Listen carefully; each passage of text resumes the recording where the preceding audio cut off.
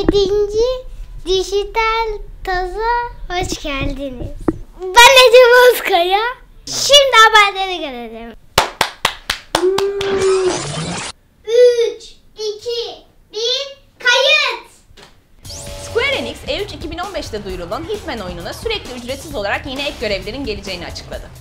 Gelecek olan yeni ek görevlerin bazıları ise sınırlı bir süre için geçerli olacak. Belirtilen süre içerisinde gerçekleştirilmeyen göreve bir daha asla ulaşılamayacak. 8 Aralık tarihinde PC, PS4 ve Xbox One için gelecek olan yeni Hitman oyununu heyecanla bekliyoruz. FIFA 16 için yeni detaylar belli olmaya devam ediyor. İlk olarak kadın futbolunun oyuna ekleneceğini belirten EA'in oyuna ekleyeceği bir diğer yeni özellik ise hakemlerin sprey kullanması olacak.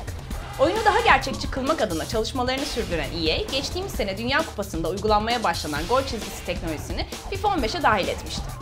Umarız hakemlerin top ve barajın yerini belirlemekte kullandığı sprey gibi daha birçok detayı yeni oyunda görebiliriz.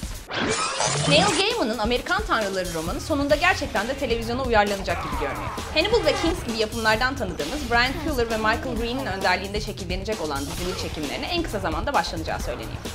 Olacak mı olmayacak mı derken yapımı yılan hikayesine dönen Amerikan Tanrıları bakalım bu sefer gerçekten de bir televizyon dizisi olarak karşımıza çıkabilecek mi?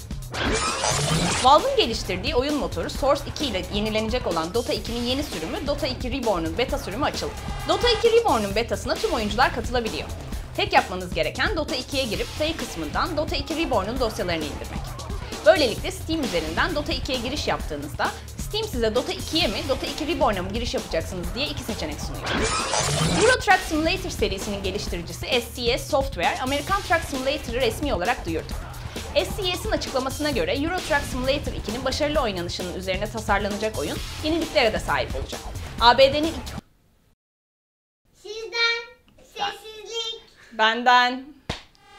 ABD'nin ikonik binalarını ve doğal güzelliklerini göre göre kamyon süreceğimiz oyunda en sonunda Avrupa'nın daracık yolları yerine ABD'nin geniş yollarında direksiyon sağlayacağız. ABD tipi kamyonlarda cabası. Multiplayer Live Twitch kanalından banlandınız ve banınızı açtırmak mı istiyorsunuz? Şurada görmüş olduğunuz linkten bize nickinizi ulaştırabilirsiniz. Game of Thrones çok konuşulan 5. sezon finaliyle rekor kırdı. 8.11 milyon izleyiciyle kendi izlenme rekorunu kıran yapım, dizi tarihinin en yüksek izleyici sayısına ulaştı. Dizinin 5. sezon final bölümü ayrıca yayın tarihinden sonraki ilk 2 gün içerisinde 10 milyondan fazla korsan indirmeye imza attı ve illegal yayın alanlarında da yeni bir rekora ulaştı. Dark Souls 3 duyurusu ve fragmanı ile birlikte basın bültenlerinde yer alan Dark Souls 3 serisinin son bölümü olacak ifadesi Hidetaka Miyazaki tarafından yalanlandı. E3'te katıldığı bir oturumda bu sözün yanlış anlaşıldığını söyleyen Miyazaki, Dark Souls 3'ün son oyun olmadığını ama hem bu seri için hem de From Software için bir dönüm noktası olduğunu vurguladı. Son bölüm tümcesi ne kadar yanlış anlaşılabilir bilemiyoruz. Ancak serinin hayranları serinin devam edeceğini duyunca mutlu olacaklardır. Dark Souls 3'e gelirsek, o da PC, Xbox One ve PS4 için 2016'nın ilk çeyreğinde çıkacak gibi görünüyor. Sizden. Sisten hep 87. dijital doz bitti. Sen de var. 87.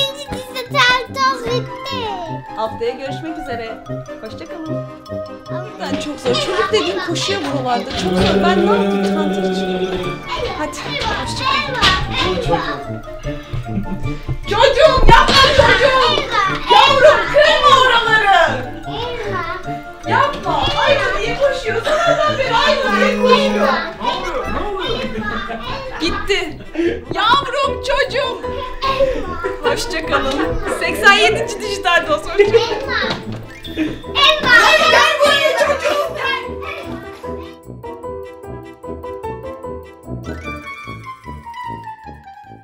Oo,